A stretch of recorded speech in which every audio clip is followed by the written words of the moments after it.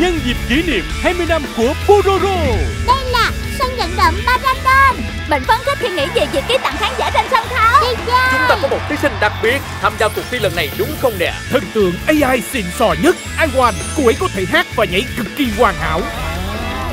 Cậu có thực sự nghĩ chúng ta sẽ làm được không? Mỗi người các cậu đều có khả năng đặc biệt của riêng mình. Ha, xin chào, chúng ta hãy cùng nhau. Vui vẻ nào Bạn đã sẵn sàng để rộn ràng cùng Pororo chưa nào? Chúng ta phải nhanh lên. Big Ben, anh nghĩ anh đang làm cái gì ở đây vậy? Chiến thắng có ý nghĩa gì khi chú phải gian lận? Nếu bạn không phải số 1 thì bạn chẳng là gì trên thế giới này. Nghệ sĩ nào sẽ là người duy nhất Giành chiến thắng trong cuộc thi siêu sao? Pororo Hành trình siêu sao âm nhạc Ah!